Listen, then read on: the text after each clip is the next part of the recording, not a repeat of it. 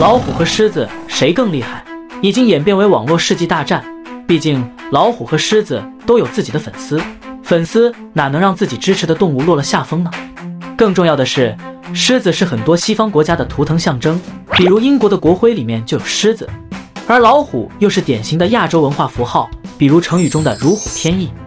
所以，老虎狮子之战逐渐演变为了东西方文化大战。那么，狮子和老虎究竟谁更厉害呢？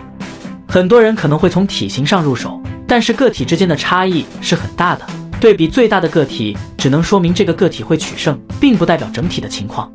更何况大部分的老虎和狮子也长不到最大个体的水平。格斗类项目都需要划分体重才能显示客观，那么这一次就刨除最大体型的对比，来看看两只差不多大的东北虎和非洲狮相遇，谁会获胜？有很多人认为动物打斗都是靠蛮力，其实这是错误的，动物们也是会用自己的智慧的。不然盲目的打斗会让自己受伤。野生动物可是没有医院的。那么狮子和老虎，到底谁的脑容量更大呢？从头骨上来说，非洲狮的头骨更大。这一点在他们的杂交后代狮虎兽身上有所表现，因为狮虎兽就是一个大头娃娃。然而，头骨大不代表脑容量就更大。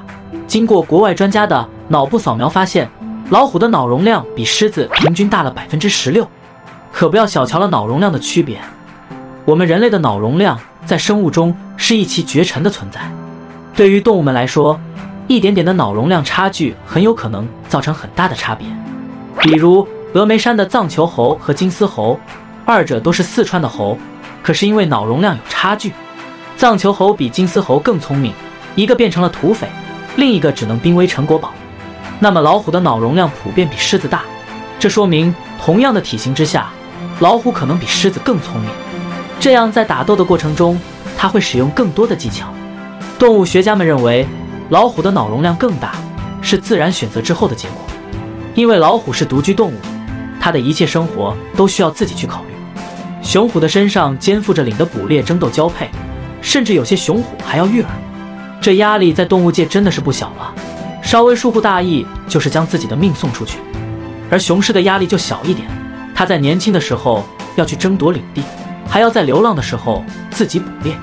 可是，一旦成为狮王，他就只需要花费精力在领地上捕猎，可参与可不参与，反正群里的雌狮会负责这些。所以，雄狮需要操心的事情远不如雄虎多。在自然的选择下，老虎的脑容量就越来越大，也就越来越聪明。然而，老虎虽然很聪明，但是它却非常谨慎，这就导致。有的时候，它会展现胆小的一面。雄狮如果当上狮王后受伤，养伤期间只要没有别的雄狮抢地盘，那么它的生活是不成问题的，因为有雌狮捕猎。可如果一只雄虎受伤，那么它就非常危险，它得面临长时间不能捕猎的困境，很可能在养伤期间就饿死了。因此，老虎不会轻易参与搏斗，他遇上了和自己体重相当的狮子，可能会选择退后，这样就不用受伤。可是，如果他一旦参与了战斗，就会在这过程中思考。打架最可怕的不是莽夫，而是有思想的肌肉。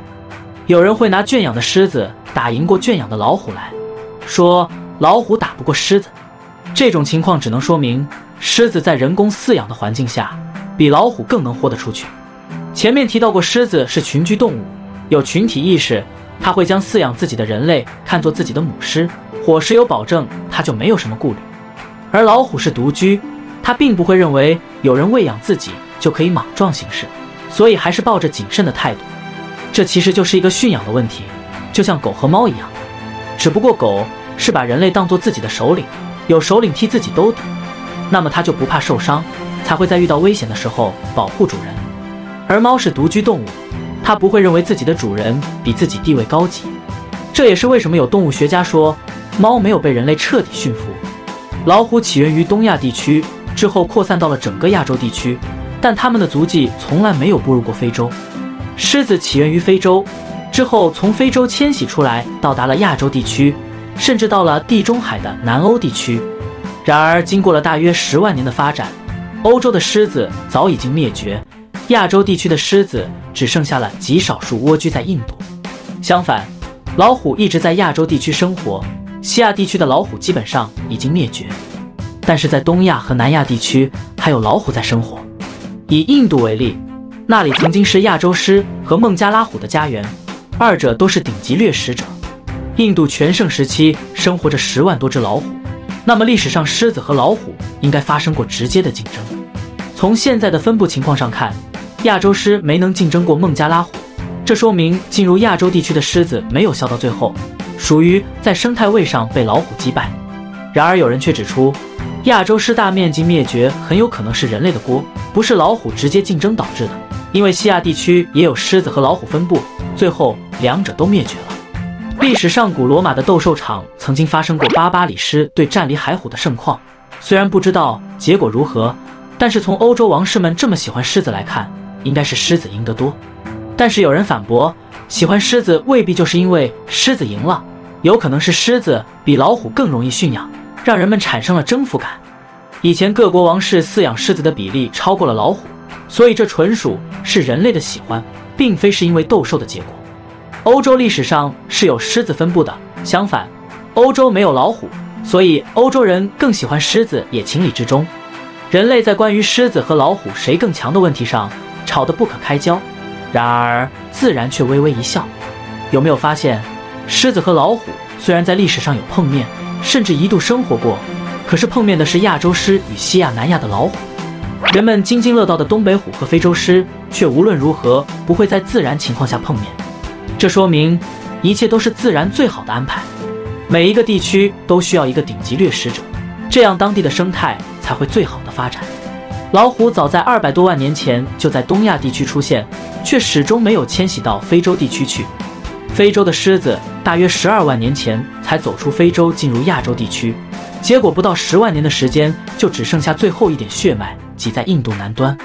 这说明自然并没有打算让最强的老虎遇上最强的狮子，就算人类去影响，强行让二者见面，让他们打起来，也得不到想要的结果。因为就算一只非洲狮打败了一只东北虎，我们能说老虎打不过狮子吗？我们只能说这一只狮子。打败了这一只老虎。人们之所以在老虎和狮子这个问题上争论不休，很可能是慕强的心理。这是人类一直以来具有的，从挑选猛兽作为自己的图腾就存在。说白了，就是对力量的向往。